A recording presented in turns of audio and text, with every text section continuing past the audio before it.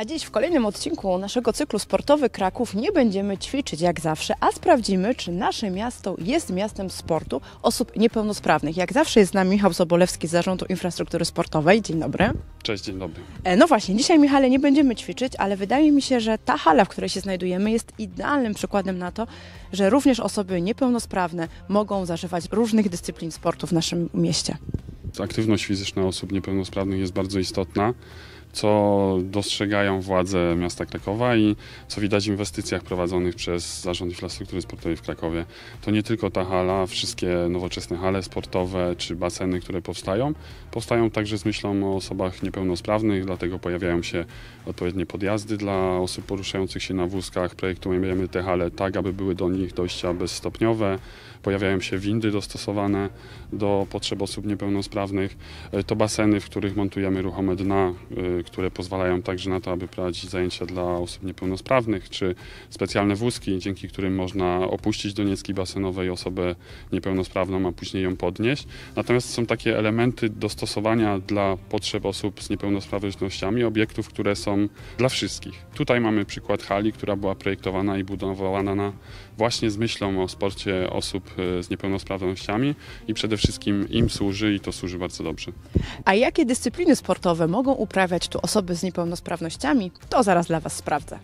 Jak już wspominaliśmy, jest to obiekt dedykowany osobom niepełnosprawnym w 100%. Jest z nami Agnieszka Plety. Dzień dobry. Dzień dobry. E, Pani Agnieszko, e, proszę powiedzieć tak mniej więcej, jakie zajęcia, dla jakich grup e, osób niepełnosprawnych są tutaj przeprowadzane, z jaką częstotliwością, no i czy macie już jakieś takie statystyki, bo już trochę działacie. Mamy się czym pochwalić.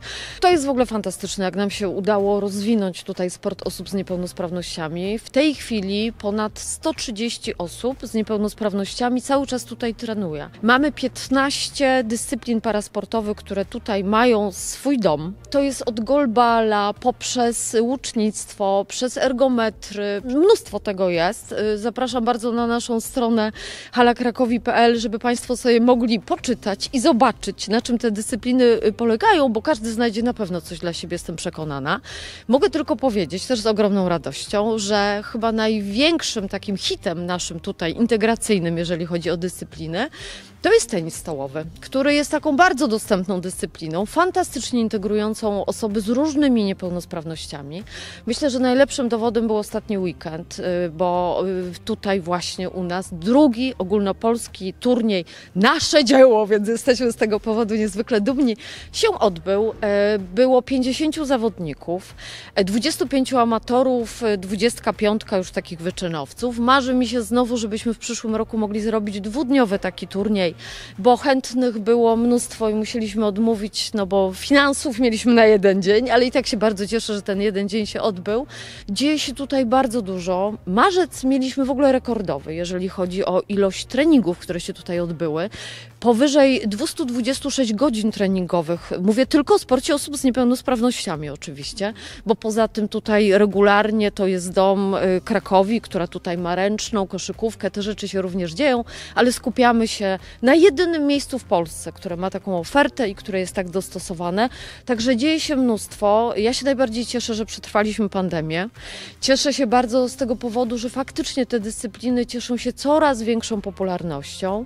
Cieszę się z tego powodu, że każdy jak sobie tutaj przyjdzie, zobaczy, a potem porozmawia z trenerami, którzy są w ogóle cudowni to, to robi czasami taką rundkę, że przechodzi przez kilka dyscyplin i potem sobie wybiera te, które są mu najbliższe, a czasami zaczyna od dwóch albo od trzech i potem się decyduje albo je y, uprawia równolegle, więc to się dzieje na naszych oczach. Hala jest zajęta od rana do wieczora, no i tak powinno być. Bardzo dziękujemy. Dziękuję bardzo. E, Myślę, że nie, nie ma co szukać lepszego potwierdzenia tezy, że Kraków jest również miejscem sportu osób niepełnosprawnych.